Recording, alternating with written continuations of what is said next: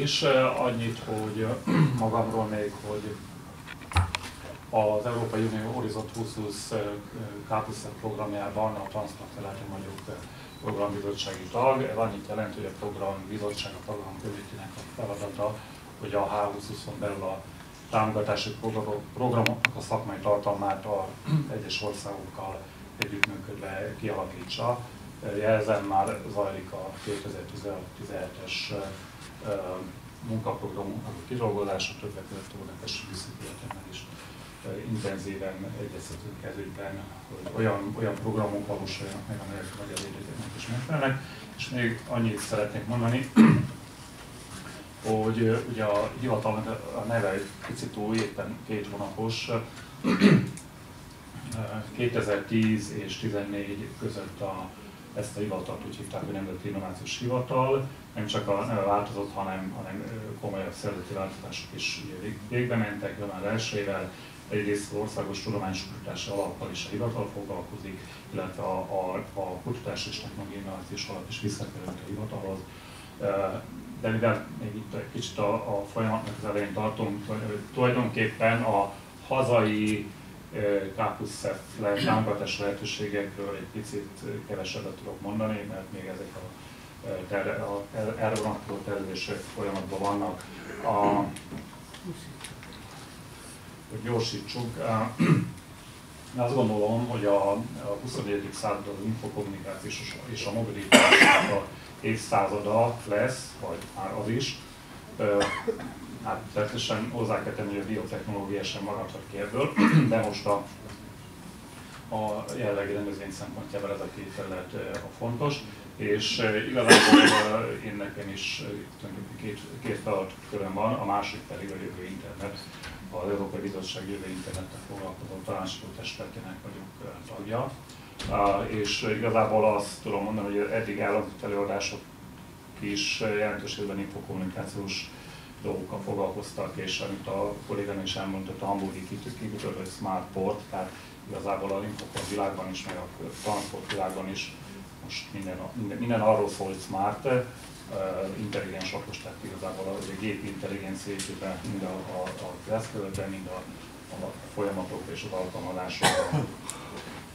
A, kicsit visszatekintve, ugye azt tudjuk, hogy a, az ipari forradalom elindításában elindulásának két fontos mozdulata volt, most egy picit fordított időrendi során. Ugye mondjuk, ha nézzük a a, az autókat, a, az autóknak a fejlődését. Hát igazából persze nyilván óriási a különbség a, a mondjuk a T-modell és a, az Audi között, de azért minden szempontból száz év alatt nem, ilyen funkciós szempontból nem olyan túl sokat változtak, tehát igazából nem is értem még miért van mondjuk kuplonga, meg, meg sebességváltó a, a jellegi autóban, igazából működés szempontjából csak a kormány, a gáz és a az, ami, ami szükségszerű, és nyilván ebben a irányba haladunk.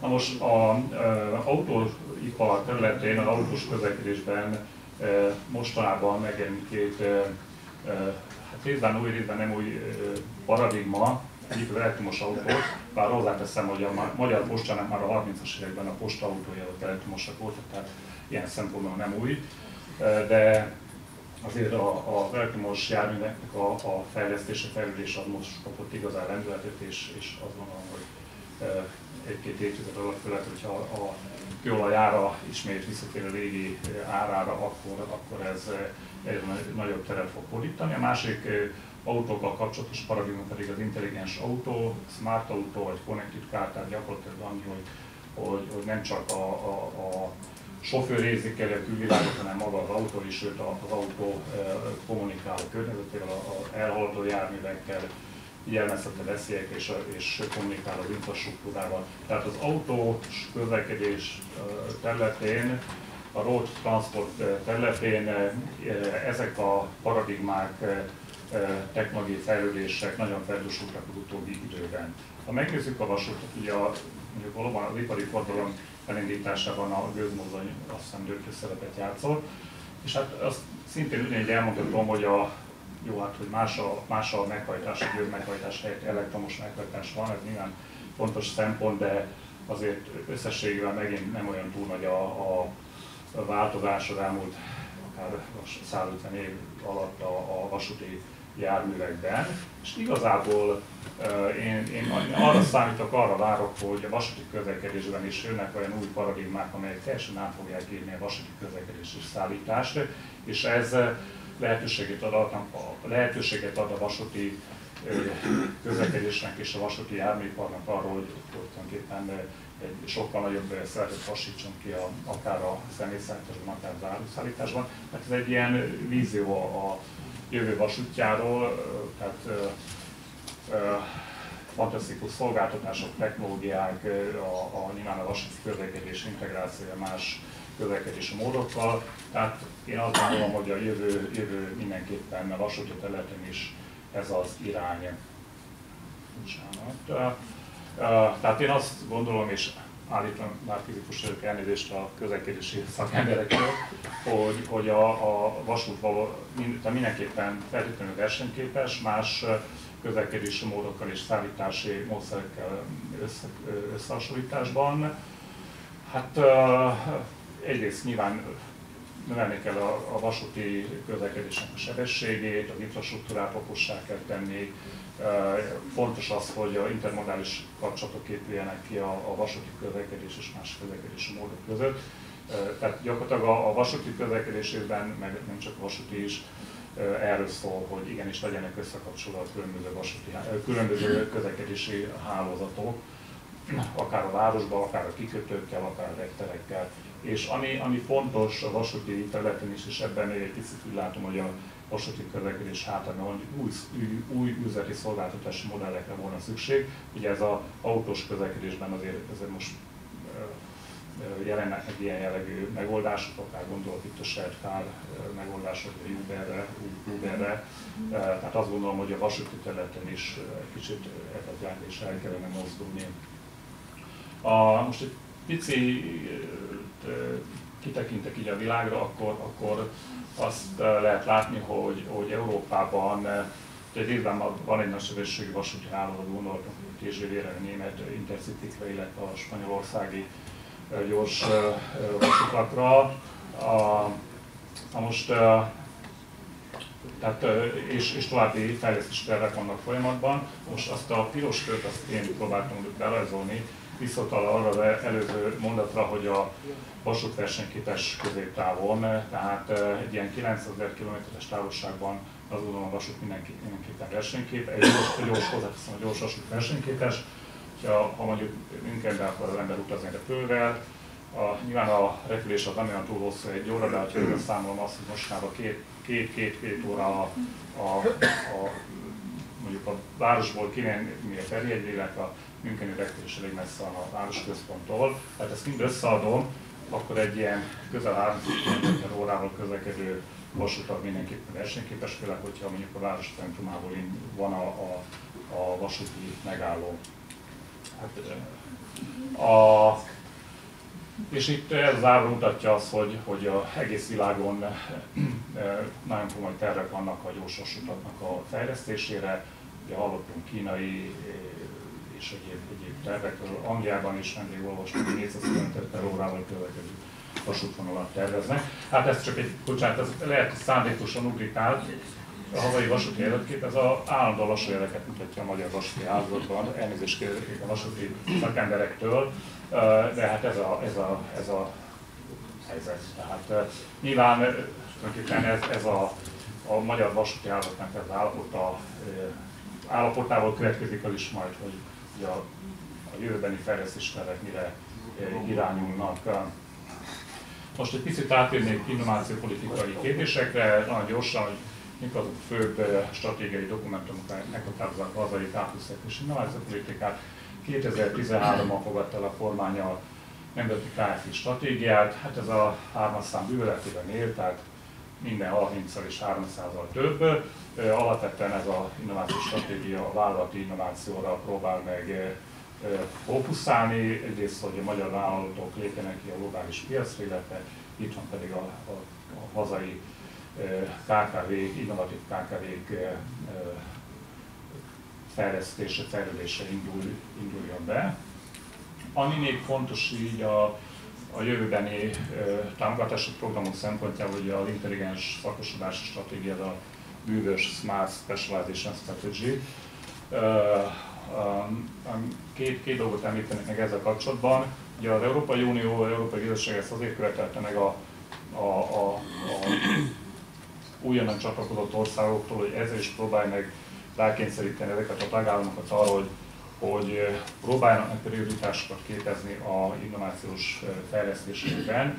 Hát lehet, hogy még egy tanulmási ciklus szükség lesz ebben a régióban, de mindenképpen egy, egy pozitív irány.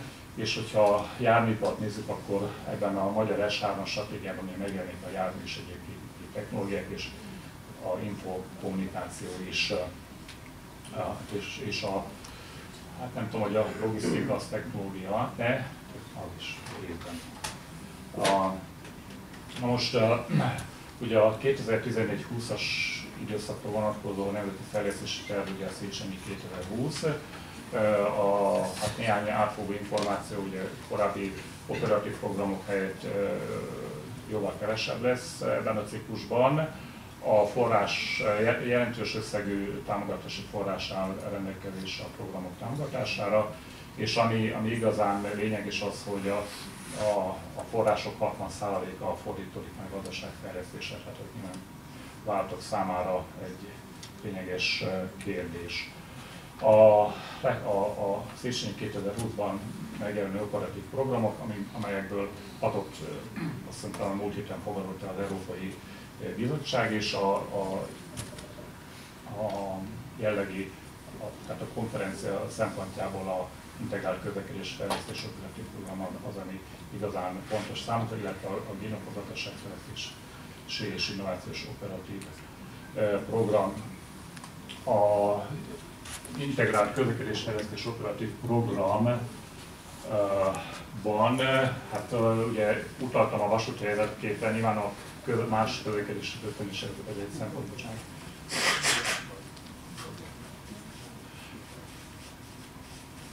Tehát az ICO prioritásokban elsősorban infrastruktúrális fejlesztések, beruházások jelennek meg, tehát itt igazából én nem látok kutatásfejlesztési támogatásokra a lehetőséget, ugye pénzügyi keretek kb. 9 milliárd forint az euró árfolyamától függően mindig változik.